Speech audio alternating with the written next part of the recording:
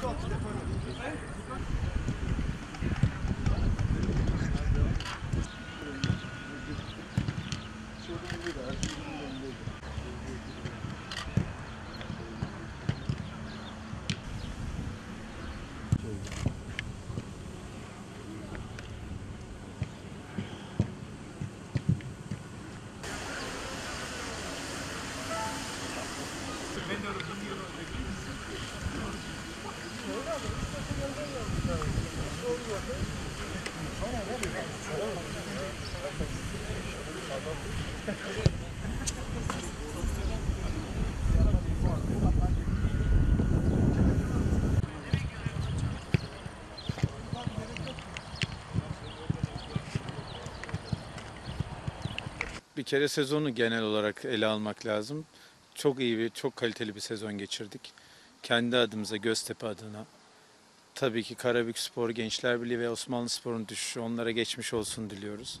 Şampiyonluk yarışında birçok takımın yer alması, bugüne kadar Avrupa Kupası hedefiyle birçok takımın yer alması, küme düşme adaylarının bu haftaya kadar e, hep mücadelenin içinde olması, ligin kalitesini ve seyri zevkini arttırdı.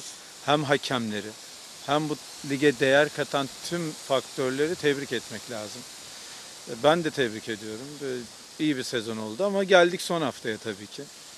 Şampiyonluk yarışında artık bir belirginlik son haftayla birlikte ortaya çıkacak. Bizim de önümüzde Galatasaray maçı var.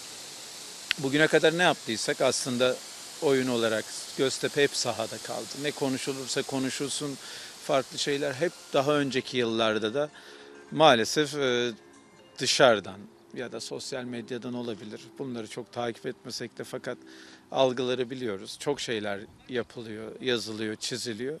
E, Göztepe sahada kaldığında aslında sahayı iyi izlediğinizde e, kendi gücünün her zaman ne olması gerektiğiyle ilgili bu yarışın içinde kalarak, oyununu oynayarak ve de sezon başından beri ortaya koyduğu lige kattığı, kattığı değer açısından neler yaptığını göstermiştir. E, Galatasaray maçı da sahada kalmak istiyoruz. Hiçbir dış faktör ya da yarışan takımlar bizi bugüne kadar ilgilendirmedi. Kendimiz ve oynayacağımız takımlarla ilgili hep değerlendirmeleri kendi içimizde yapıyorduk. Bu maçta onlardan bir tanesi. Şampiyon olur Galatasaray olmaz. Bunlar bizi ilgilendiren gerçekten önemli şeyler değil. Biz Göztepe'yiz ve Göztepe'nin teknik direktörü olarak bu hafta da sezon boyu 33 haftada yaptığımız sahada kalma, çizgilerin arasında kendi düşüncemizi, kendi yaptıklarımızı ortaya koyma adına bir karşılaşma olacak. Ve de bunu gerçekleştirmek iyi bir şekilde izleyenlere de bugüne kadar sahamızda bizi destekleyen taraftarlarımıza, deplasmanlarda hiç yalnız bırakmayan taraftarımıza ve her zaman o ruhu ve duyguyu hissettiren taraftarımıza çok teşekkür etmek istiyorum.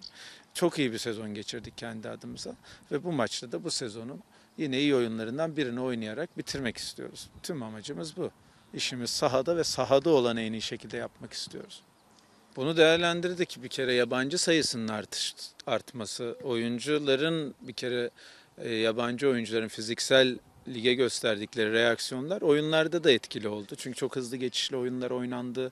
İlk yarıdaki gol oranları, atılan yiyilen gol oranları sezonda arttı. Bunlar hep bu ligin bu yılki değerini ortaya koydu. Lig yarışının bu denli çekişmeli geçmesi, her takımın kazanacak, kaybedecek derecede haftaları geçirmesi, yani güçlü zayıf rakip unsurunun ortadan kalkmış olması takımların birbirine yakın oluşu aslında ligin değerini gösteriyor. Bu yıldaki ligdeki en büyük değer bu oldu bence. Düşünün ki küme Avrupa liglerinde oynayan, Avrupa kupaları oynayan takımlar küme düşme hattındaydı. Osmanlıspor bunlara iyi bir örnek. Aslında lig değeri e, nerede bitirdiğiniz değil, başlangıçtan itibaren gösterdiğiniz takım değeriyle de alakalı. Artık e, takımların seçimleri, stratejileri, oyuncu tercihleri, kadro yapıları ve gösterdikleri sahada o haftaki performans ligi daha da değerli kıldı bence. Daha da güçlenir mi? Tabii ki ilerleyebilir. Ama bu yıl e, biz Göztepe olarak gerçekten iyi bir noktadayız. Bu noktada da iyi şekilde bitirmek istiyoruz. Ama ligin değeri daha gün geçtikçe gelişmeli. Sadece şunu eleştirebiliriz. Yabancı sayısının bu kadar artmış olması tamam ligi kaliteli hale getirdi ama yerli oyuncuların bu anlamda aramıza katılmış olması, katılacak olması daha fazlalaştırılmalı. Biz de bu konuda kendimizi eleştirebiliriz. Biz de yer veremiyoruz. Yer verdiğimizde maalesef hem e, oyun anlamında rekabet ettiğiniz takımlardaki farklar ortaya çıkabiliyor. Hem de maalesef lig bu düzeye geldi. Ligin kalitesini belirleyecek unsurlar bence yerli oyuncuların artık daha fazla artıp o seviyelere çıktığında bunda da en önemli unsur tabii ki teknik adamlar, çalışmalar ve altyapılardır. Bunları da biraz geliştirmek gerekiyor. Sabri oynayamayacak. Bunu biliyoruz. Çünkü belki de küçük bir operasyon geçirme durum var. Bununla ilgili sağlık kurulu bilgilendirebilir sizi. Ee, Bunun dışında Poco'nun Halil'in cezalı olması tabii ki etken. Çünkü maç sayıları en yüksek oranda olan oyuncularımızdandı. Ama orta sahadaki diğer oyuncularımız Selçuk, Rayko, Andre, Doğanay, Aksel bunlar sezon boyu yer bulabilen oyuncularımızdı ve çok maç sayısına da sahipler. Bu konuda bir zorluk yaşayacağımızı düşünmüyoruz. Ama tabii ki Galatasaray güçlü bir takım. Ne yaptı ortada ve son maç beraberliğinde yettiğini düşünürsek farklı bir mücadele ortaya çıkabilir diye düşünüyorum.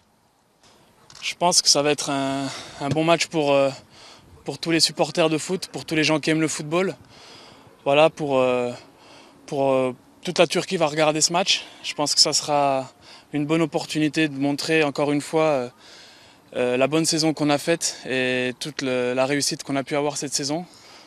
C'est aussi une fierté de pouvoir terminer à la maison devant notre public, devant nos supporters. Ils ont été très importants pour nous cette année c'est vrai que de pouvoir terminer avec un match comme ça devant eux, c'est comme leur offrir un, cadeau de fin de saison pour, euh, euh, cette belle réussite euh, qu'on a pu avoir cette année. Gerçekten güzel bir maç olacak tüm futbol severler için. Ee, bütün Türkiye tabii ki e, bu maçı izleyecek. Biz de bütün sezon e, yaptığımız gibi elimizden gelen en iyi performansımızı e, sahaya yansıtacağız. Ve aynı zamanda taraftarlarımızın önünde bu maça çıkacağımız için böyle güzel bir maç oynayacağımız için çok mutluyuz. Onlar bütün sezon bizim arkamızdaydılar. Onlar için bu bir hediye olacak böyle güzel bir maçı onların karşısında oynamak. Bu yüzden çok mutluyuz.